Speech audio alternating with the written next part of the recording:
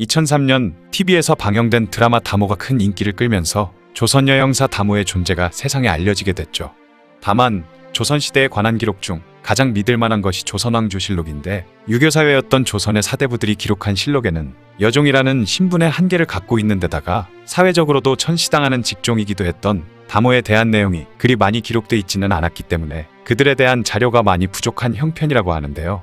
오늘은 성종실록과 선조실록 등 각종 기록에 짧게나마 기록돼 있는 다모에 대해서 알아보는 시간을 가져보겠습니다.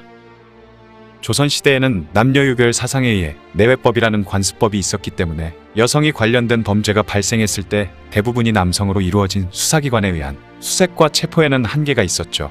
때문에 이런 경우에 동원된 것이 바로 의녀와 다모인데요. 조선 전기의 의녀는 서울 지역의 경우 국가의료기관인 해민서에서 공로 비 중 13세 이하의 여자종을 뽑았고 지방의 경우는 충청도와 경상도, 전라도의 여자종 중에서 각각 두 명씩을 올려보내 필요한 교육을 받게 했습니다. 교육만 이수받는다고 해서 모두 의녀가 되는 것은 아니었죠. 매달 치르는 시험에서 합격을 해야만 의녀가 될 수 있었고 의녀 교육 도중 세 번 낙제를 한 낙제생은 해민국의 다모가 되었습니다. 다모라는 이름이 등장하는 것은 조선왕조 실록 중 세조 때부터이며 세 번 낙제한 의녀 교육생이 다모가 되는 제도는 성종대에 와서 완전히 정착된 것이라고 하죠. 조선 전기의 의녀는 왕과 왕비를 치료하거나 의원들을 보조하는 것이 주된 업무였지만 그 이외에도 수색 임무나 해결되지 않은 사건을 수사하는 데도 참여했고 남성들이 손대기 힘든 부녀자의 사체를 확인하거나 혼인을 할 때 지나치게 호화로운 혼수품이 있는지 단속하고 사대부 부녀자들을 호송하는 업무에도 차출되었다고 하네요. 하지만 제12대 왕인 연산군 때부터 의녀들은 기존의 업무보다는 연애에 불려다니는 일이 더 많아지기 시작했고 조선 후기가 되면서부터는 의녀들을 가리켜 의녀기생이라고 부르는 지경에 이르게 됩니다. 이렇게 의녀가 기생이나 다름없게 바뀌면서 궁궐이나 일반인들 사이에서도 기생에 대한 인식이 나빠지자 국가에서도 경찰력이 필요한 업무에 의녀를 투입하는 것이 부담스러워졌죠. 이때 사람들 사이에서 비록 의녀보다 자질은 떨어지지만 의녀를 대신해서 범죄 수사 등에 다모를 투입하는 것이 어떻겠냐는 의견이 나오면서 조선 중기 이후부터 의녀를 대신해 여영사의 기능을 수행하게 된 것이 바로 다모입니다. 조선 전기의 의녀가 임시적으로 사건이 발생했을 때만 형사 업무를 보는 형태였다면 조선 중후기의 다모는 오로지 수사 업무에만 종사했다는 점에서 큰 차이가 있죠. 육전조례에 의하면 다모는 사원부에 1명, 병조에 7명, 훈련도감에 4명, 그리고 정조 때 장용영에 2명이 배치된 것으로 보입니다. 병조에 배치된 다모는 주로 치안활동에 동원되었고 조선시대 수도의 경비를 맡아보던 훈련도감에 배치된 다모는 국왕이나 왕비 그리고 공주나 옹주 등의 경우에 차출되었다고 하죠. 그리고 오늘날의 수도 방위사령부 역할을 하던 장용영에 배치된 다모들은 전쟁이 일어났을 때 현장에서 부상자들을 돌보기 위해 배치된 것으로 짐작됩니다. 다모의 주된 업무는 여성과 관련된 범죄 수사나 정보 수집 또는 여성 피의자를 수색하거나 여성의 시체를 검사하는 일, 그리고 세자빈 후보로 간택된 규수의 평소 행실이 어땠는지 조사하는 일까지 도맡아 했으며 조선 말기에는 나라의 허락을 받지 않고 술을 만드는 밀주를 단속하는 일에도 동원되었다고 하네요. 이처럼 조선 중기부터 다모의 활동이 활발해지면서 포도청에는 다모들이 거처하는 다모관이라는 장소가 만들어지기도 했죠. 다모는 염탐이나 수색, 그리고 범인을 체포하는 임무 등을 맡기 위해 일반 여성과는 다른 배짱이나 체격 조건이 요구되었습니다. 민속연구가 김화진의 말에 따르면 포도청에서 다모를 뽑을 때는 우선 키가 다섯 척을 넘어야 하고 쌀 다섯 말쯤은 가볍게 들 수 있어야 했으며 막걸리를 마실 때도 세 사발 정도는 숨도 안 쉬고 단번에 마셔야 할 정도가 되어야 다모가 될 자격이 있는 것으로 봤다고 하죠. 뜬금없이 왜 주량에 관한 내용이 있나 의아해하시겠지만 옛날에는 술을 많이 마시는 것도 건장함의 기준으로 봤다고 합니다. 또 평소에 남편이나 시아버지의 이름도 막 부를 정도로 모든 면에서 남성적인 성격을 가진 사람을 골라서 담으로 채용했다고 하죠. 예전에는 내외의 법도가 엄해서 남자들은 남의 집 앞마당인 내정까지 들어가지 못했기 때문에 여성들로 이루어진 담호가 대신 내정까지 들어가서 조사를 하거나 그 집의 종이나 식모들을 설득해서 몰래 정탐을 하게 시키는 일도 있었습니다.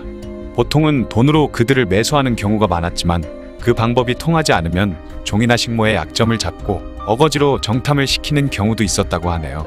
담호는 대개 역적 모의를 하는 집에 많이 출동을 했죠. 이때 담호는 치마 속에 두 자쯤 되는 쇠도리깨와 오랏줄을 감추고 조사를 하다가 틀림없이 죄를 지은 것이 분명하다고 판단되면 치마 속에 숨기고 있던 쇠도리깨로 벽의 위쪽에 자그맣게 만든 창문인 들창문을 부수고 들어가서 죄인을 묶어서 왔다고 하니 죄인들에게는 담호가 마치 저승사자처럼 느껴졌을 것 같습니다.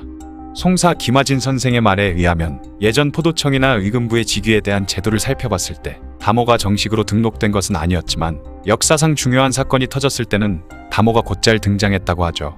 선조 22년에 정열입이 난을 일으켰을 때 억울하게 잡혀와서 죽은 최영경이란 인물을 문초하는 기록에도 다모가 그를 잡아왔다는 대목이 있으며 인조 반정 때 공을 세워 후에 영의정 자리까지 지낸 심기원이 영모를 꾀한 혐의로 체포되었을 때 그리고 인조 반정 때의 1등 공신인 김자점이 효종 시절 영모를 꾀했을 때도 두 사람의 집을 수색하는 과정에서 먼저 다모가 정탐을 하고 난 다음에 나장과 포교를 인도해서 범인을 잡아들였다고 합니다.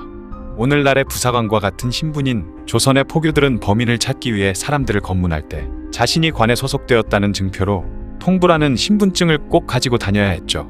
마치 현대의 경찰들이 범인을 체포하기 전 경찰관 신분증을 보여주듯이 포교가 사람을 잡아가려고 할 때 상대방이 거부하거나 네가 뭔데 이런 짓을 하냐고 항의하면 이 통부를 보여줬다고 하는데요.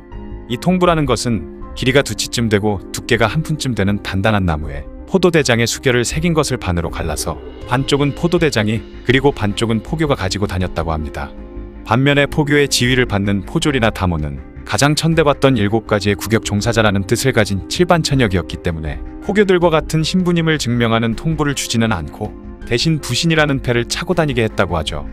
특히 다모는 쇠도리깨에 때리는 부분에 은실을 박은 것을 소지하고 다녔는데 이것이 바로 다모의 신분을 상징하는 것으로 이 도리깨 덕분에 다모는 고관의 집에도 들창문을 부수고 들어갈 수 있었고 만약 도리깨로 살인을 한다 해도 목숨을 잃지는 않고 유배를 가는 정도의 처벌을 받았다고 합니다. 다만 이런 특혜에 비해 받는 급료는 무척이나 적었는데 포도청에 소속된 다모는 포졸과 동일한 하급 관리이기 때문에 최저 생활을 겨우 면할 수 있을 정도의 박복만을 받고 일했다고 하네요. 일반 백성들의 경우에야 포교나 다모가 자신을 체포해도 당신이 뭔데 나를 체포하냐고 대드는 사람이 극히 드물었고 오히려 포교나 다모가 쇠도리깨를 들고 들이닥치면 순순히 체포당하거나 도망가기에 급급했다고 하죠. 이들이 들이닥쳤을 때 도망가기는커녕 오히려 호통을 치는 사람들은 바로 양반이었습니다. 그래서 양반을 잡으러 갈 때 포교들은 지금의 체포영장과 같은 자주통부라는 것을 따로 준비해 가야 했으며 다모의 경우에는 은실이 박힌 도리깨를 증표로 썼다고 하죠. 이처럼 다모는 우리나라 최초의 여영사로서 그 기능을 발휘했으며 조선 후기에 접어들어서는 지방관하에까지 다모가 배치된 것으로 짐작됩니다. 하지만 고종 31년에 가보개혁과 함께 한성부의 경무청이 설치되면서 포도청과 함께 다모 역시 역사 속으로 사라지고 말았다고 하네요. 지금까지 다모에 대한 이야기였습니다. 영상을 봐주셔서 감사합니다. 더 재미있고 유익한 영상으로 다시 찾아뵙겠습니다. 구독과 좋아요 꾹 눌러주시고 댓글도 부탁드려요.